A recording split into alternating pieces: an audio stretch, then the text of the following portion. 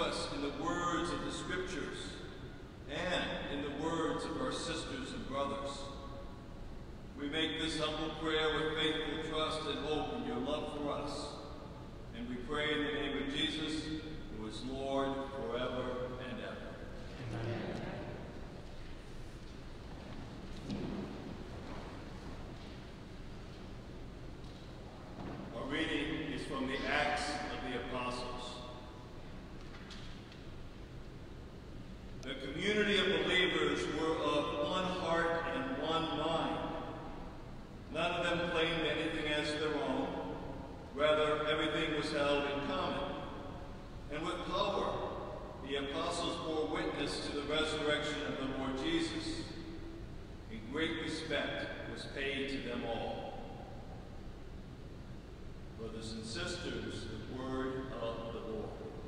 Thank you, God.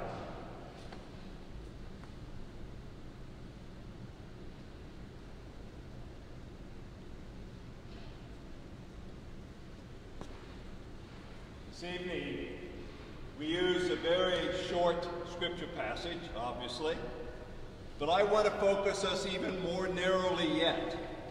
Let's just look at that first sentence. The community of believers were of one heart and one mind. Now imagine that. Imagine that with me. The community of believers were of one heart and one mind. What would that have looked like? What can it mean for us? You know, could it be that, could that ever be a description of us? Can you imagine that? Could that be possible? Can you imagine that being of one heart and one mind would be how people would describe our parishes? Maybe they would describe our faith communities in this way. Can you imagine that? How good is your imagination? You know, those early chapters in the Acts of the Apostles talk about a time in the church immediately after Pentecost. And the apostles that we hear, are, they're on fire with the power of God. You know, and they're very effective witnesses to the resurrection of Jesus, both in their words and their preaching, but also in their deeds, the miracles that they were working. And the community of believers will see in their witness, and the community of believers was growing. Their witness was effective. People were coming to join the community of faith, becoming one with the, the other apostles and the other believers. Now, I like to think of this, these early chapters in the uh, Acts of the Apostles as kind of a description of the honeymoon period of the church. Because at the time when we read it, it sounds like everything was perfect. That, that, that there were no, no, no troubles at all. Everything was just exactly the way Jesus would want it to be. Well, the scholars tell us that the description we read is more of a presentation of the spiritual and theological ideals than a historical account. You know, that early communities of faith, they had their own share of problems, and the problems came from outside but also inside. You know, as Jews observant of the law, they were struggling to make sense of how their belief in Jesus was changing all of their religious customs. And when the Apostle Paul was successful in his preaching, they were struggling to make sense of, you know, what does it mean that all of these Gentiles, these people we called outsiders, are suddenly insiders? These people who were outsiders are now a part of our faith community. That didn't happen easily. That we can imagine, can't we? That didn't happen easily. You know, these difficulties are well documented. So what does it mean when we say that, that early communities of believers were of one heart and one mind? Well, let me, let me start by telling you what it doesn't mean, okay? It doesn't mean that everybody agreed with each other. It doesn't mean that everyone thought in the same way about the issues that were facing the community at the time. But I think what it does mean is that to be of one heart and to be of one mind is to be in communion with one another. I love that word. To be in communion with one another. It's so rich in meaning. I mean, we speak about receiving communion when we receive Eucharist, and, and we do. You know, to receive Eucharist is to literally, not just symbolically, it's to become one with God. God becomes a part of, of who we are. You know, Eucharist brings us into union with God that God hopes will transform us to be believers who are of one heart and mind with God. You know, loving God as God loves us. You the communion that we receive with God in Eucharist is truly great news. It's good news. But there's also a challenging invitation. You know, it's, that gift is given to us with a divine hope of how we are to receive it. That, that gift is given to us with the divine hope that we become what we have received. That we who receive become the body of Christ. You know, if I am in communion with God, and I'm of one heart and one mind with God, then as a believer, it requires that I be of one heart and one mind with all others who are in communion with Jesus, right? You know, that's the theological ideal that we read about in the Acts of the Apostles. That's what I spoke about last night. Communion with God requires that I be in that we be in communion with one another. It's simply, it's simply true. Nothing else can make sense. I can't be in communion with God and not be in communion with you. And the early believers understood that. You know, the as the Gentiles will receive, if they believed that if the Gentiles received the same Spirit of God that they had received in Pentecost, they accepted that that same Spirit was given to them as given to the Gentiles, and that required that the Spirit would bring them into a unity that would be one of one heart and one mind. You know, so we may find it hard to imagine that our faith communities are to be of one heart and one mind. But what's important is that's what God imagines for us. You know, we know that we live in these extremely polarizing times. You know, we are polarized in society, in the secular world, but tonight we also think especially how we are polarized as a church. I'm not going to depress you with the laundry list of evidence of this, okay? But I think we can see how battling ideologies, differing spiritualities, way we nuance our belief in what church is, we can see how this makes it difficult to, uh, for us to be in communion as believers. But the word for a group of people in communion, a group of people of one heart and one mind, is community. It is not communiformity. To be in communion with one another doesn't mean that we're always going to agree with one another. Doesn't mean that we're all going to live our faith in lockstep with one another. But what it does mean, the differences aren't going to disappear. But what it means is that we are of one heart and one mind in our commitment to stay in right relationship with one another. That's our commitment. We will stay in right relationship with one another. We will maintain that relationship that comes through our love and the Spirit of God first to us, but it's given to all. And on a practical level, I think what this means is that it's okay if you and I don't agree with one another about something. It's okay with us that we might have a judgment about how the other person is acting. But if our judgment brings us to the point where it damages our relationship and our ability to stay in relationship with one another, if our judgment takes the other out of communion with us, then we do that knowing that when we sever that relationship, we damage our relationship to God. There is no love of God without love of David. There's no communion. We can't authentically claim communion with God and not have communion with others that are in communion with God. You know, especially in those times when things are difficult, when we our differences appear with this sharp, hard edges, then we really have to be mindful of our commitment to remain in right relationship. We have to be mindful of our commitment to remain in relationship with one another. And we have to work at maintaining that relationship. That's what it means to be a community of believers of one heart and one mind. And our commitment to be this kind of community of believers needs to be nurtured and strengthened. You know, we need to communicate with one another in a manner that is respectful and nurturing of our communion.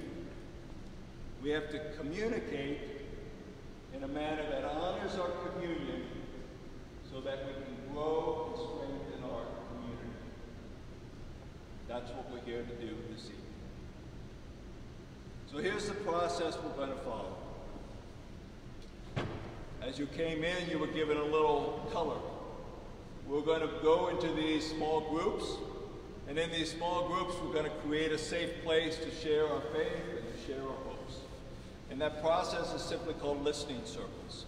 It's a methodology that we use in the Ministry of Reconciliation, and it's a simple process where we use ritual to help us to communicate. Because let's face it, too often when we have differences, we have forgotten how to talk to one another and maintain our relationship. So we're going to use these listening circles, this, these rituals to help us to communicate what we hold in our hearts and our minds. Now I'm going to explain briefly how they work, okay? Don't stress about this, okay? In each group there is somebody who's, who already knows this and is going to repeat it to you, okay? But I want you just to have the, the instructions because they're also going to be followed in the online group in some, in, in, in, in some ways. So the rooms have been prepared. You have a room assigned. You are going to create some social distance. As you come in, you have a chance to use some hand sanitizer. We got some social distancing space as we can. People are going to keep their masks on. There's a circle keeper who is there to maintain the circle, who knows what you need to do, so you don't need to worry about it too much. They'll help you help this to go smoothly. But there are some guidelines to guide us, some values that we want to affirm in our, our time together. Simply, we have to agree that we're going to speak truthfully from our heart, that we're going to speak and listen with respect. We promise that we will maintain confidentiality about the stories we hear because it's safer for people to tell their stories when they know they aren't going to be repeated by somebody else. Well, no one is going to ever be forced to speak or to share, but everyone is going to have the opportunity and to be invited. To help us to remember this, these, these values, we're going to have a simple talking piece. Tonight we're going to use this talking piece. We're going to talk about our hope. And this talking piece simply will be passed from person to person around the circle. The person who holds the hope, who holds the talking piece, has the floor. They're the only one allowed to speak while they hold the talking piece. When they finish, they will give it to the one on their left. That person has their opportunity, and it will go around the circle. Different people have more time, need more time to think before they speak. That's okay. Not everybody may want to speak. That's okay. It's okay to pass, to simply say, okay, thank you, I'll pass. And at the end of that time around the circle, you'll, you'll be given a second chance if you want. You don't have to use it, but you'll be invited if you want to speak. You'll have that chance. We aren't going to be discussing anything. We're not going to be trying to come to an agreement about anything. No decisions are going to be made in these circles tonight. This is a simple ritual of communication for the sake of being in communion with one another. Be in right relationship with one another. As I said, somebody will keep the circle on track. They're going to help you to remember the values and guidelines and how to use the talking piece. They have a couple of questions that they're going to pose, and you'll go around the circle and have a chance to, to talk about them. Okay? Don't stress. Okay? It's all, it's all under control. Okay? We plan to end from the groups, so we're not going to come back here. The groups can decide when they're finished, but we're thinking about an hour maybe. Uh, but it's you guys decide in, in your groups. I'll say goodbye to those at home now because we're going to shift now to our breakout groups here. I want to thank you for being a part of our community here. You're not just here virtually, you're here spiritually. And we're very grateful for the way you have participated with us tonight in this part. And I wish you a good conversation, a good dialogue, a real sense of community uh, in the communication you do with each other in the circle. Sean will now shift you to your groups. Uh, to give us some, some logistics, uh, Linda's going to tell us some movements. Please.